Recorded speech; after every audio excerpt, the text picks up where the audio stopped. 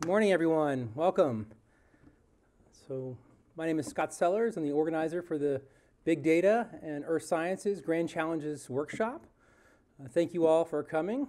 Um, really excited to, to see so many phases, faces today and uh, looking forward to the next two and a half days. Uh, some great sessions that are going to deal with uh, everything from uh, software and hardware engineering uh, to data transfer and networking to uh, machine learning and artificial intelligence uh, applications in, in earth sciences.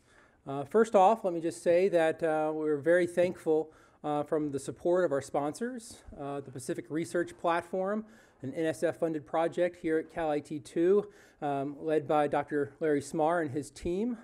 the Center for Western Weather and Water Extremes, Dr. Marty Ralph. Um, we're very thankful for his support as well. Um, in addition, uh, Scripps Institution of Oceanography's director, Dr. Margaret Leinen, for uh, the support uh, as well. And so uh, we'd like to thank uh, all three who have allowed this workshop to, to, to actually happen.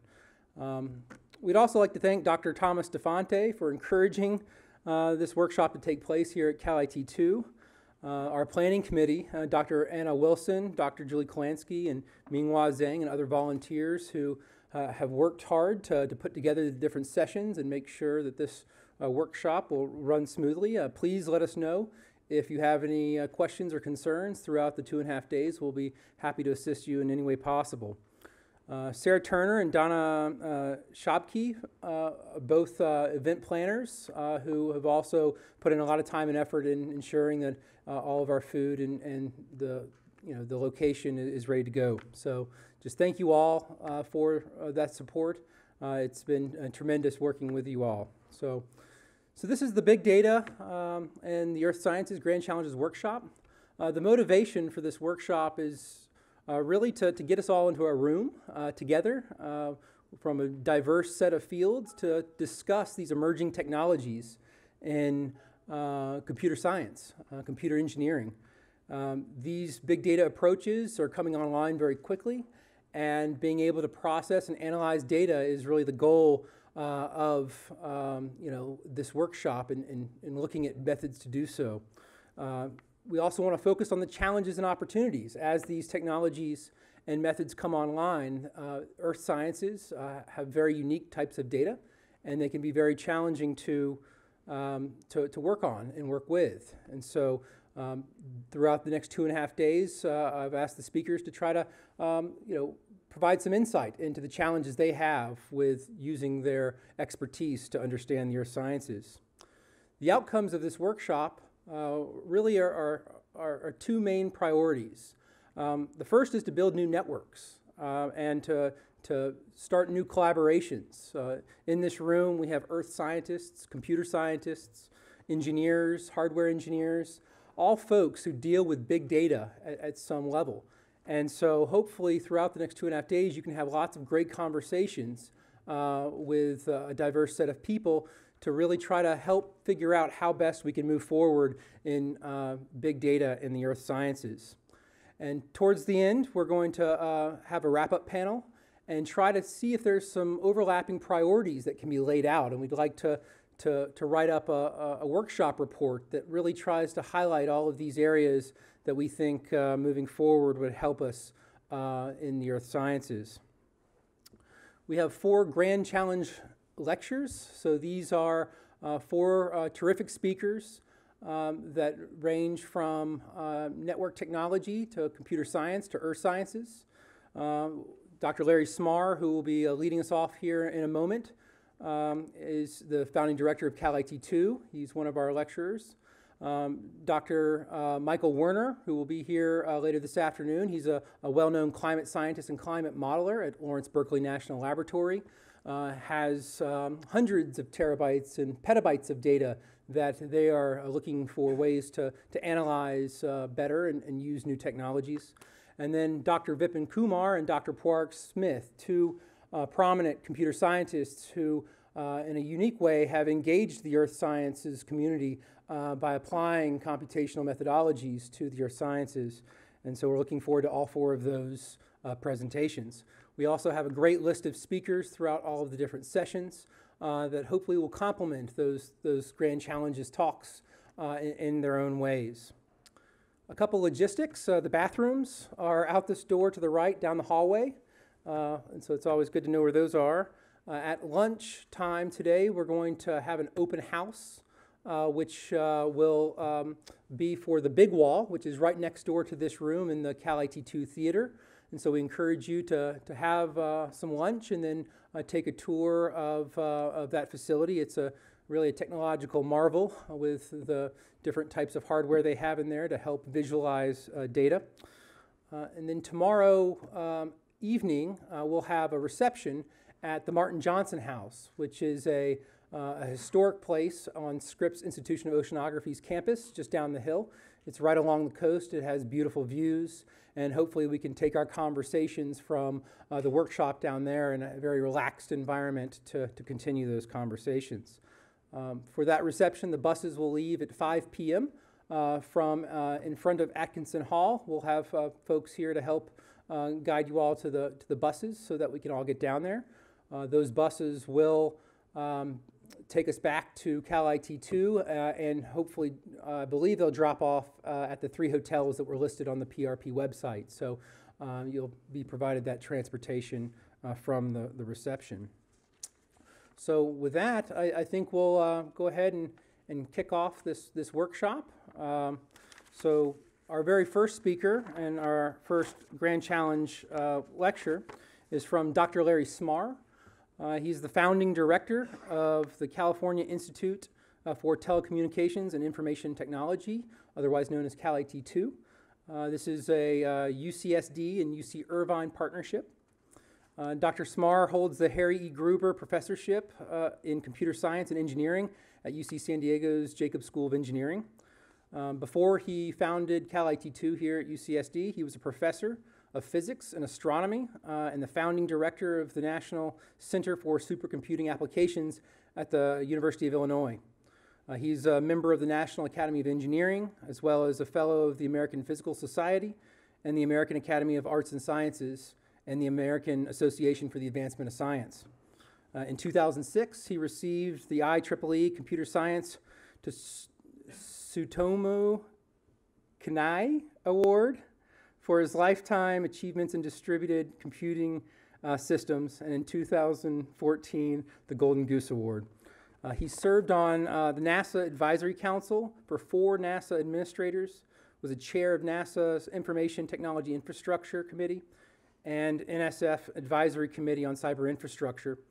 Uh, not just in the uh, physical sciences, but he also, for eight years, uh, was a member of the NIH Advisory Committee um, to uh, three serving uh, NIH directors. So uh, with that, uh, I'm going to uh, welcome Dr. Smarr to the podium. Let's give him a warm round of applause.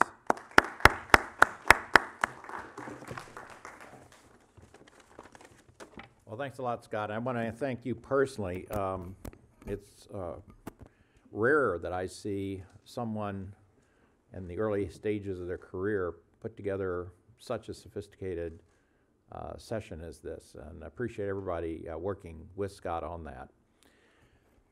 I'm going to take you through um, the Pacific Research Platform, uh, an NSF uh, grant that I'm the principal investigator for, that is setting up a general cyber infrastructure for big data in science and engineering.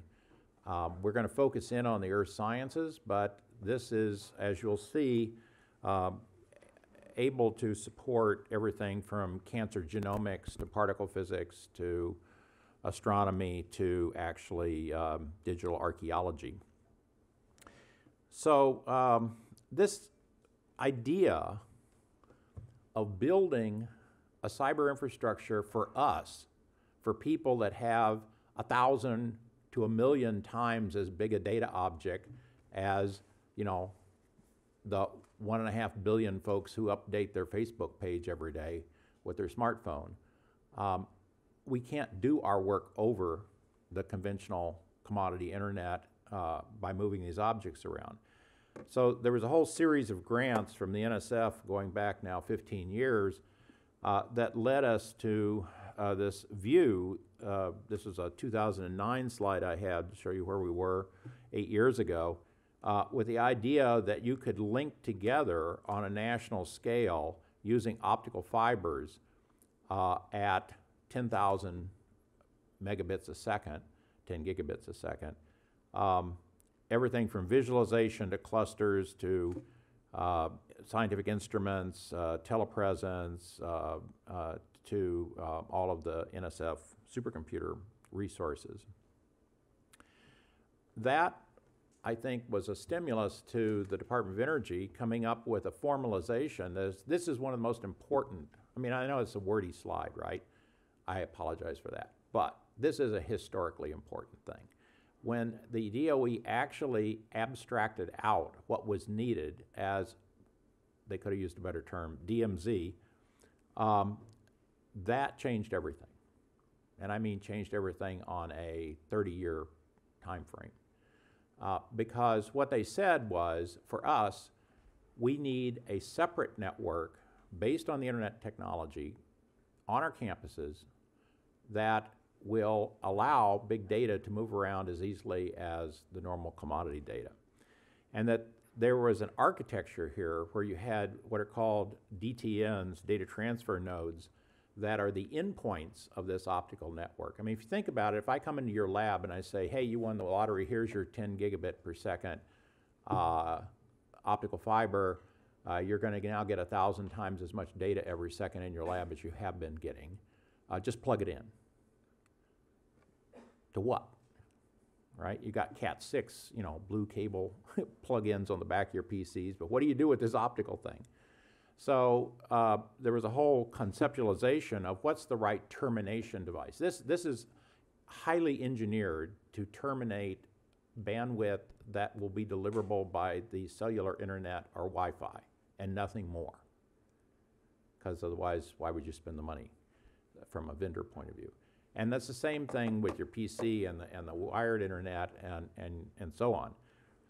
Um, so that was an important point, and we'll come back to that quite a bit.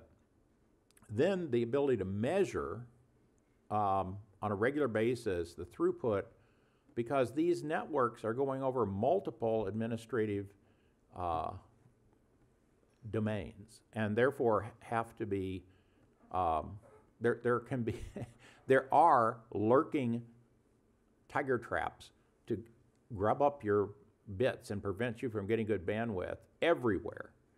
And one of the things I'm most proud of for this project is we have got the best network engineers on the West Coast working together in a volunteer way to make this uh, Pacific Research Platform happen um, in a way they've never worked together before. And without that, it couldn't happen. It's a, it's a really an amazing achievement that they, they've, had, they've been able to put together. Well, this plus a uh, long series of uh, reports coming from the community to the NSF, including one called the Campus Bridging Task Force that I was part of, um, that together uh, convinced the NSF that this was a sea change. And so over the last um, five years, the NSF has funded on-campus data freeways. Think of it like the freeways in, you know, in LA or in San Diego or, or in Chicago on the campus. Now, I've been at this game 30 or 40 years, and I can tell you that the NSF never invested on campus in networks like this before. This is it in 30 or 40 years. So it is a fundamental step function change in our capabilities as scientists and engineers to do big data. However, each of these is done individually by the campus based on their local history of how they've done networking. And so, although they all are DMZs, that doesn't mean that they're necessarily the same technically. And so, putting them together is really quite difficult. So, the way that we solve this problem was to go back to the fundamental aspect of the DMZ I talked about, which is your data transfer node. And this is one of our top research engineers here, John Graham. And John, you have such Such timing. so, uh, without John, I don't think the PRP would happen. Um, he's really unique in that capability. Um, and, and so, what he's done is put together these uh, basically rack mounted or desk side PCs, but optimized for big data. Now, what does that mean? Well, they look just like a normal PC in that they have CPUs and RAM and, and, and um, all that. But what they've got is 10, 40, or 240 gigabit uh, per second network interface cards that take optical in and out. And then they have flash. So, flash memory, this is the revolution that's going on in solid state memory um, in the computer industry. This is 10 times faster than disk, and in fact, the newest non volatile memory is, is up to 100 times faster. Uh, that's critical to be able to handle this vast uh, data rate coming in. Without this bucket, basically, you really can't do much uh, if, you, if you have the optical coming in. So we then wanted to make sure this was as, as built on commodity and therefore as cheap as possible. So, so these are like you can buy them under your supply budget on your grant. And if you just need a gigabit, we can get it down to say $1,000.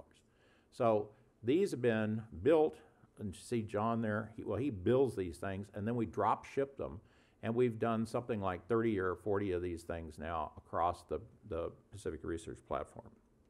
Now, what that lets you do on a campus is just to give you one example. This is in uh, work I've been doing with Rob Knight in the microbiome uh, which is you're talking about trillions of bases of DNA that uh, are, are uh, sequenced by Illumina sequencers. Um, and then this has to flow to the supercomputer. We've, for instance, run on this, um, well, in the last year, I guess, uh, a million core hours, which is, um, you know, a CPU century is 800,000 hours. so, a lot of time. And so that produces vast amounts of data. And how to just, just on the campus, how do you get that around? And so uh, we got one of those NSF grants that I showed you the dots on the, on the, on the national map.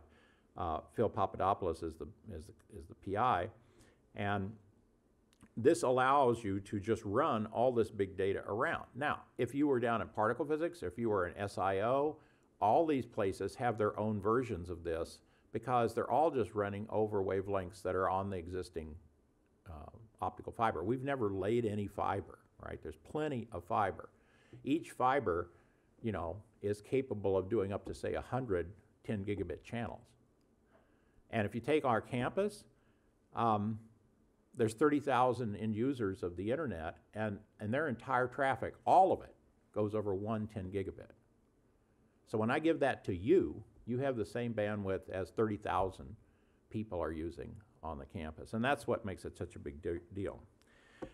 Well, so the next logical step would be can we link together multiple campuses? Because after all, that's how big science, uh, big data science is done, is in collaboration. And so um, we pulled together over uh, 20 um, campuses, um, and we got, we decided that what we would do is you know, we wanted to have multi-campus scientific collaborations that were already going on that were going on without the benefit of this kind of bandwidth. And uh, we went out to those and said, would you be willing to be the early adopters and try out this? And so we had over 50 people like you uh, who have signed letters of commitment uh, to work on this. And, and the CIOs, uh, the chief information officers, are, are the network equivalents on their campuses from over 32 campuses. Um, now, the thing that I find fascinating about this project, none of those people get a dime out of this grant. In fact, this whole grant, organizing the entire West Coast and all the research universities, public and private, on the, on the West Coast, is three FTEs. That's all the grant pays for. And John is a good fraction of that, uh, one of those FTEs. So um, it's a volunteer effort to see if we can raise up a whole new way of doing big science. And, it, and that's what I find fascinating about it. Well, how's it going? Well, when we started, uh, this is a, a, um, a thing that John does uh, four times a day, is he sends out, what, 10 gigabyte file from one um, Fiona to another, from one campus to another, and then measures using GridFTP what the throughput is. And so, in other words, from it's an n by n matrix, and so we want to know all possible paths. And if it's uh, yellow, that means it's less than five gigabits a second, which is not what we want, uh, but it's better than ping. Right? So ping works. and then the first thing you find is because you're going, think about what you're doing. You're going from the third floor of the physics department. Well, in the physics department, the physics department handles the networking. Then you're going across, say, the UCSD campus, and on that campus, the CIO handles the networking. Then you go on to CENIC, the California Research and Education Network, and they handle the networking the way they do it between the campuses. Then you go on to, say, Santa Barbara, and now you're back to a different CIO has a different history of how they do things on their campus. And then you go up to the second floor of the physics department, and they're back into a different department. Okay, that's the way the world works. And it was no one's job, and to this day, it's no one's job to get you disk to disk to your collaborator at, say, 9.6 gigabits a second out of 10. For these folks, I accepted the role of being, it's my job, and to put together the team that can deliver this. But in the real world today, we live in this crazy quilt networking world. Even though the internet connects everything, once you get into the actual trying to get it to work efficiently, you find out that there's software problems, there's bent pins and routers that nobody knew about, there's all this stuff, and that's what these things figure out. Well, the network engineers, of which there are dozens, that have a phone call for an hour every week and have now for year and a half, I guess, or year and three quarters, something like that. Need longer. Um, they were able to, uh, this is just as of last um, month, about a month ago, you see the green, those are all greater than five gigabits a second. Um, and you see that instead of uh, just a few, we have now 24 uh, Fionas. And John, that's probably not the latest. I don't know. What's, what's the latest number? Well, we have some that aren't on the mesh that we're uh, doing a lot of experiments Mhm. for the, the more advanced high performance hundred gigabit a second packet. Mhm. Yeah, so, and, and like I said, it's- we're looking some of these up to 100 gigabits a second. So the underlying network, this is the achievement of the last year and a half, basically, is to set up that um, network. But then as it was coming up, we went back to the multi-campus teams that we selected for this proposal uh, from these areas and uh, started getting them up and going. And I just want to show you a few of those, and then I'm going to delve into four big examples of the earth sciences that have been using this. So um, this is closely related to the earth sciences. It's the Pacific Earthquake Engineering Research Center that's, that's headquartered in Berkeley. However, as you can see, there are many labs, including both uh, people doing analysis, uh, shake tables, uh, and so forth. They're sending massive amounts of data back and forth. And uh, here's John. Um, uh, John doesn't just doesn't sit here in the lab. Uh, he's this is him up at, at Berkeley installing uh, the FIANET uh, uh, on, the Berkeley campus that can do the gigabit per second uh, back and forth. So we've got them starting to come up.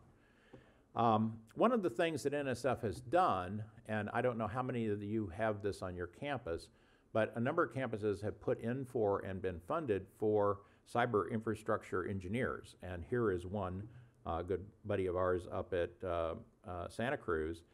And um, uh, that's uh, him uh, receiving the um, Fiona and putting it in.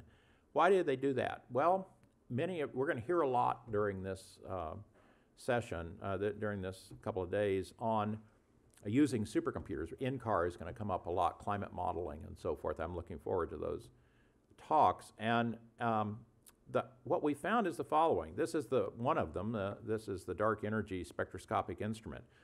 This is taking 250 images a night, over 800 gigabytes, almost a terabyte a night. And then it goes to um, Lawrence Berkeley National Lab, to the NERSC supercomputer, uh, energy supercomputer, and uh, they have a workflow that turns that into the actual data in the sky. But it turns out then, if you're, say, there's a lot of astronomers and astrophysicists at Santa Cruz, it turns out. Um, I used to do it for 25 years, so I, you know, know the secret handshake. Uh, they don't want all the data, they want some subset of the data that they want to work on. So you, the logical thing is, well, gee, it's sitting at a supercomputer center. Why don't you just supercompute on it there and then send the results back to Santa Cruz? Trouble is, they went to the supercomputer center and they said, nope, we've used up all the time on just analyzing the data. We don't have any more time for you. We got a lot of other science we got to cover. Now, the irony of this is there's a thousand node cluster sitting at Santa Cruz dedicated just to astronomy and astrophysics. But how do you get the, the data set down, right? And so now we've got, uh, from just the commodity internet in just the last year and a half, it's up to 100 gigabit a second now between the supercomputer center uh, at NERSC in Berkeley and the, to the cluster in Santa Cruz. So now they can routinely download and do a lot of local analysis. And I think when we talk about climate science, I'm going to give you an example of that where that's exactly the same mode. And then visualizing this, uh, as you know, we do a lot of virtual reality here, and Tom DeFanti over here, my co-PI on the PRP, these are his um, designs with Greg Dawe, uh, who's uh, sitting on the second from the left on, on the uh, right-hand picture. Um, and uh, Merced wanted to get one of these uh, seamless uh, um, uh, virtual reality facilities. But more the point, for 20 some odd years, 25 years, we demonstrated, starting back at NCSA, that you can have a three dimensional data set that is shared over the optical network between the two sites. And the investigators at both sites can go into the same database and you can actually create avatars of where the other people are in that data set and you can have the avatar talking to you and all kinds of cool things like that. So you can jointly uh, you know, interact with and analyze these data sets. But to do that, you've got to be able to have uh, pretty instantaneous communication back and forth for high bandwidth. And, and so we designed this uh, cave for Merced and then I helped them build it. And now we're able to, two, gigabyte, two gigabytes takes about two seconds uh, between the two. So you can actually now imagine um, beginning to do this joint uh, um, analysis in virtual reality. Now, one of the, the, the problems with all this is that um, how do you get people trained up to do this? how do you get the scientists and engineers to know enough about the networking and software and everything? And how do you get the networking people on the campus to appreciate and support the needs of the scientists? Because on most campuses, including this one, until a year ago, we did not have in the uh, CIO's office a person dedicated to supporting research, researchers with IT. Okay, now we do.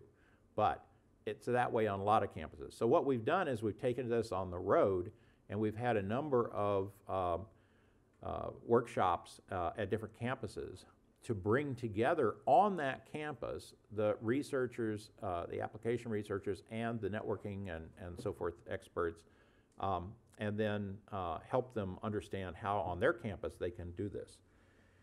So uh, I'm just going to take you through four examples um, of the earth sciences where we have got uh, people beginning to work with us. Uh, and I think these are illustrative of different types of earth sciences uh, efforts. It's certainly not comprehensive, but it's, it's encouraging. Uh, the first one is uh, actually um, made possible by Scott Sellars, our, our host for this uh, three-day workshop. And that's because he uh, has been uh, working as a postdoc here with Marty Ralph in the Center for Western Weather and Water Extremes. uh, which, you know, this is the map sort of how the atmospheric water works in the West. Uh, you know, you saw this winter the atmospheric rivers reasserting themselves, causing massive flooding and you know, record snowfalls and things like that. That's actually very normal. Uh, that's what at- atmospheric rivers do to the West Coast. Uh, and then Arizona, what you think of as a desert, is actually in a monsoon uh, region. It's just different parts of the year that that happens. Um, and uh, the, the nice thing is that Scott previously was up at Irvine, where some of you, I'm sure, know uh, Sorooshian, uh, who I worked with for many years at NASA uh, when I was advising NASA. And he, as you know, uh, has the Center for Hydrometeorology and Remote Sensing, and his, uh, his center tracks all of the atmospheric moisture and precipitation events worldwide on a, on a real-time basis and then gets that out uh, to everybody. And uh, that's where Scott was before he came to SIO and working with Marty. So we're fortunate in Scott to have somebody who's got very deep, uh, both scientific and technical roots at, at two of the campuses on the PRP, uh, Irvine and, and San Diego. And so what he's done, and this will lead to another thing that I want to end up talking about, is the importance of machine learning and how that's really coming to the earth sciences as well as to Google and Amazon and Facebook and Microsoft and so forth. Um, and, and this is a very clever idea. It's, if, you, if you think of a storm developing, I'm used to the Midwest. You may remember that Bob Wilhelmson and, and Kevin Droegemeier did these supercomputer simulations of thunderstorms and then from them the tornado genesis uh, out of the thunderstorms. And so these things are just big, um, sort of self excited objects in the atmosphere that have a lifetime. They start with a convective updraft and then they form this nonlinear structure, anvil top and all this, and then, but they're traveling along the ground at about like 60 miles an hour, and then they, you know, get bigger, and then they rain out, and then eventually they die. Well, that's a space-time object, right? And the cool thing, um, innovative thing that uh, Scott has done is to realize that from this data hypercube of, of lat long and, and time, uh, you can actually uh, abstract out of it a data, uh, a space-time object. So that's the life of that object uh, from birth to death, and um, then put it in a database. And now you have, for the whole globe, a set of data objects.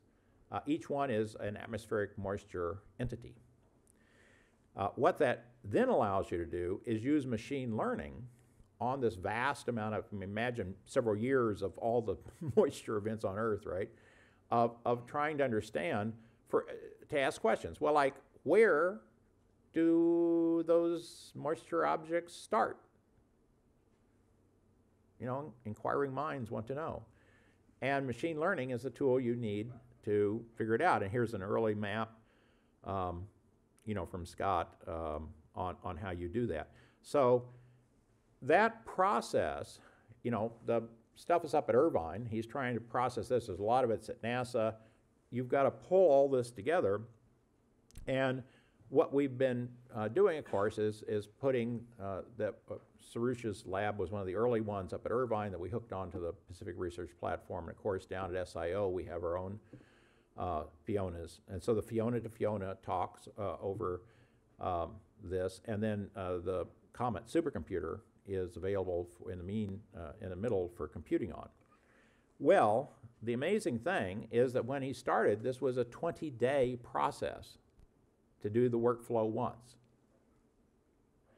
Uh, it's currently uh, brought down to 20 hours, and this year it will be brought down to 20 minutes.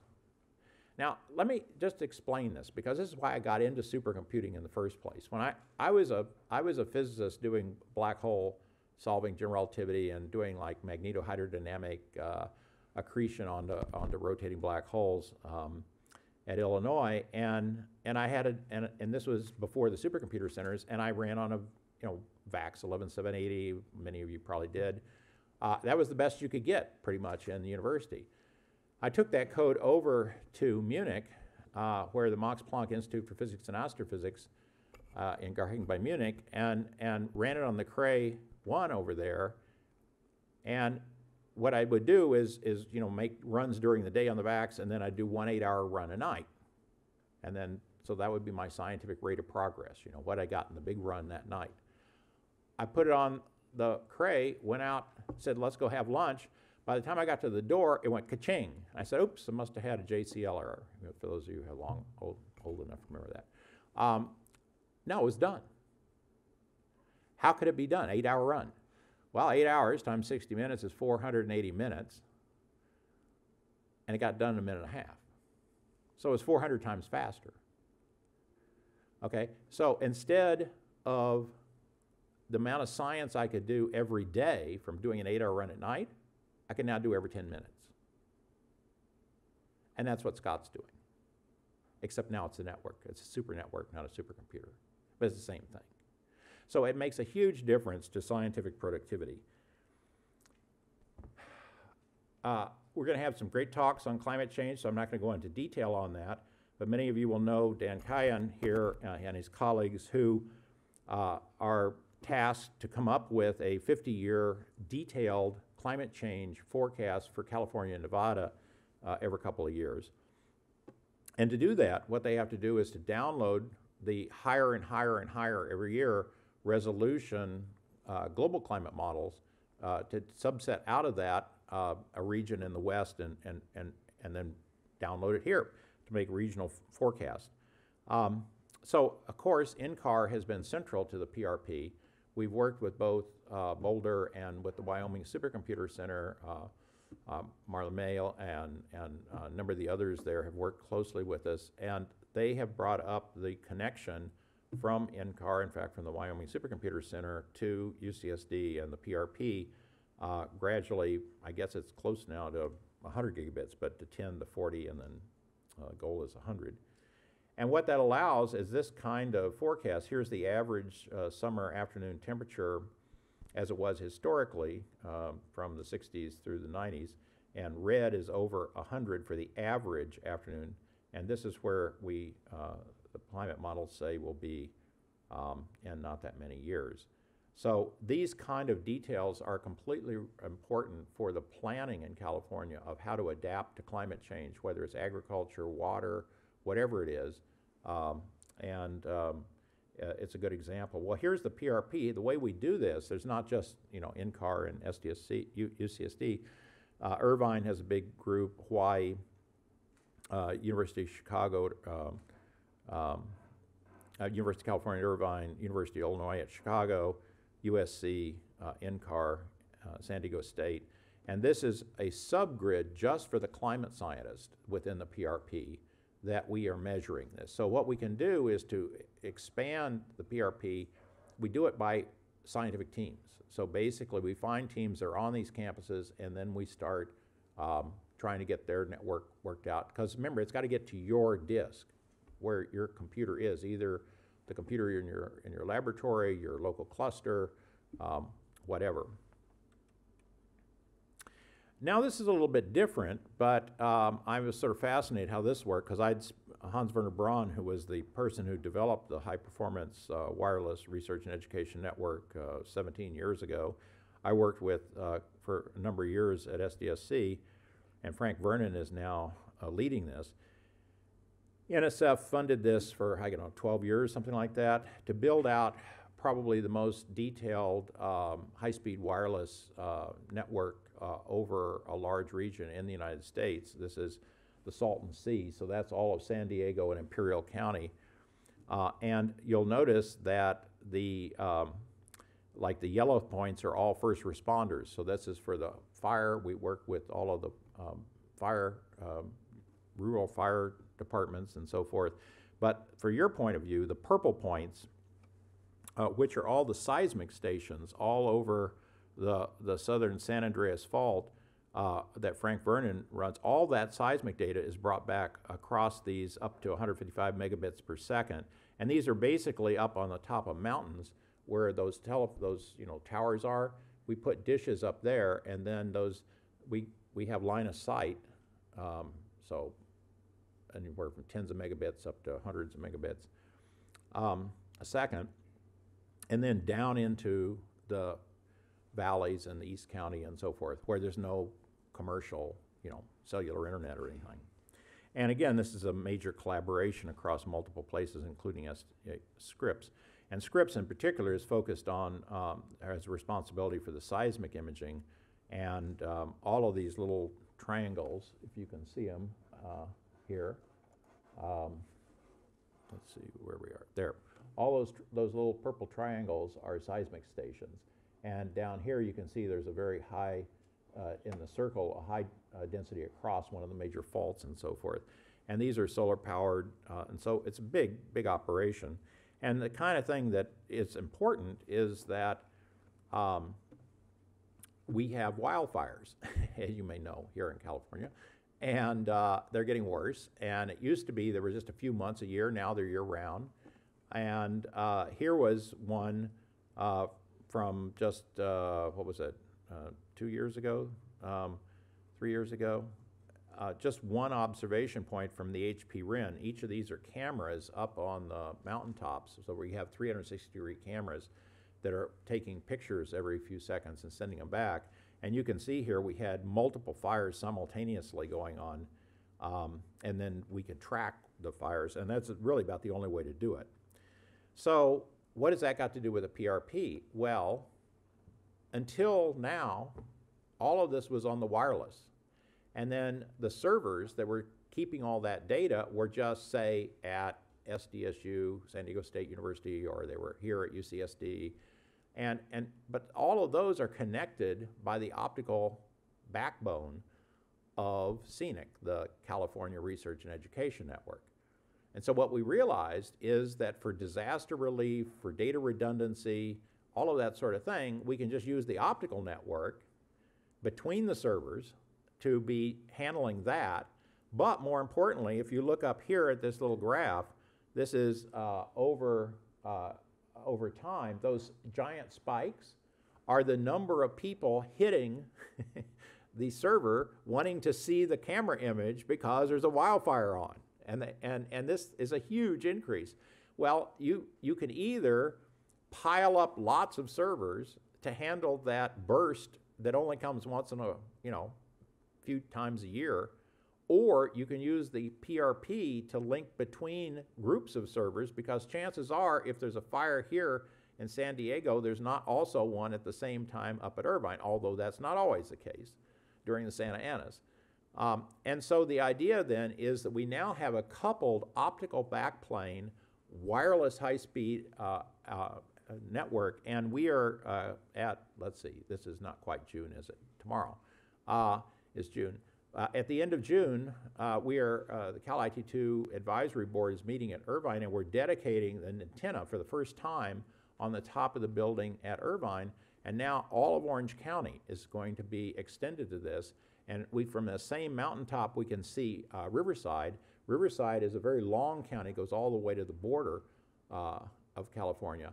And so those two counties can be brought in. But because we have CENIC now, getting their network engineers to have to figure out how to do the wireless stuff, all of a sudden, any of the 10 UC campuses, the three private campuses, the 30 some odd Cal State campuses, all the community colleges, and 9,000 K through 12, all of which are connected by CENIC, can, in principle, from their schools, send these wireless networks out and set up a, a wildfire warning session, or environmental sensing, or earthquakes, or anything else that would be environmental sensed. Um, now, one of the most amazing things I've watched happen, I don't know how many of you have been involved with NSF's funding of the Ocean uh, Observatory Initiative and the um, putting of cable um, observatories on the ocean floor. I've been involved for 15 years or so. Um, but this is now off the coast of Washington and Oregon uh, out to the Juan de Fuca uh, plate, the small plate that uh, has a spreading center there uh, and an active uh, volcanism, the axial um, volcano. Uh, and these are using, what they do is they just use standard um, submarine cables uh, that have all the optical fibers, but then they also have 10,000 volts of electricity you can send. So this is now two and a half kilometers down on the ocean's surface, uh, ocean bottom, and they can have rovers that come up and recharge and then head out and do things. They can have all kinds of instruments, um, about 140 so far. And, and so these are persistent, unlike the ships that go out and have to come back. These are sitting there 24 7. Um, and that is all done over, of course, optical fiber, right? So it turns out that the northernmost university in the Pacific Research Platform is the University of Washington. And uh, we're actually talking with the two Oregon universities about becoming members soon. Um, and so we can, in principle, just have the flow from those instruments come down here to, say, the Scripps Institution of Oceanography, where there's a lot of people who would like to be studying those instruments. Um, and the great thing about it is that John Delaney is going to be coming. He's the PI, uh, was the PI for many years of this, is going to be spending a couple of months here at SIO this summer. All of these are earth science uh, uh, areas that uh, these instruments are capable of looking at. I'll just show you one in particular. This is um, uh, one of the uh, seamounts, um, and uh, the uh, that's about 15 feet high, and that is uh, 40 HD high definition frames that are taken from a fixed point and put together to watch this thing grow and crumble. Uh, and then uh, every three hours, there's a 14 minute live HD feed from this. And so, what John and I are going to do this summer is actually link this into the PRP and then make it so that anyone on the PRP can uh, see this and you know you can use it either for education, research, and as I say, there's 140 instruments. So, um, so those are my four examples of, of, of how the earth sciences are already beginning to use it.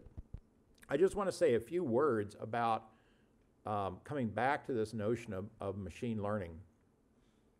Uh, Horst Simon, who I've worked with for 30 years in supercomputing, is the deputy director for research at uh, Lawrence Berkeley Lab, and and he's been saying for years that you know you think about using high performance computing. Right now, that means using uh, multi-core, shared memory multi-core chips like Intel or AMD, and a GPU.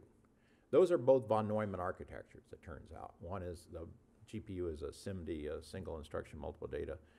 Um, and, uh, but what he's saying is that non von Neumann architectures are going to be needed because with this massive increase in data, we've got to begin to look at pattern recognition and discovery, not just arithmetic and, and logic. Um, and for instance, IBM came out with the True North chip, uh, which is the largest chip they've ever fabbed. Um, that is a neural uh, spiking network uh, chip, very non von Neumann. And uh, so to develop this, we've uh, created a pattern recognition lab in this building uh, for machine learning as well as on the non von Neumann processors. And here we are back almost two years ago getting the first of those IBM chips. The way that machine learning works is typically very compute intensive. And, and, and so the GPUs or the graphic processing units are the things that are, are the coin of the realm that are, that are used. Uh, but there's not that many GPUs to get at um, uh, on a lot of the campuses. And what we found in particular, if you're doing machine learning, you don't need the full 64-bit NVIDIA, Tesla, you know, gold-plated, high-priced uh, uh GPUs, actually the gaming GPUs, which they ship 50 or 60 million a year of from NVIDIA, uh, are just fine. And in fact, that's 32-bit single precision. In fact, 16-bit actually is probably enough because the noise in the data is such that you don't need that higher accuracy. And right now, if you're having to pay for, if you go to AWS, Amazon Web Services to get use of GPUs, you're going to pay for gold-plated things you don't need if you're doing machine learning. Now, if you're doing, you know, hydrodynamics, uh, turbulence, whatever, you need double precision, 64 bits, by all means, go use those.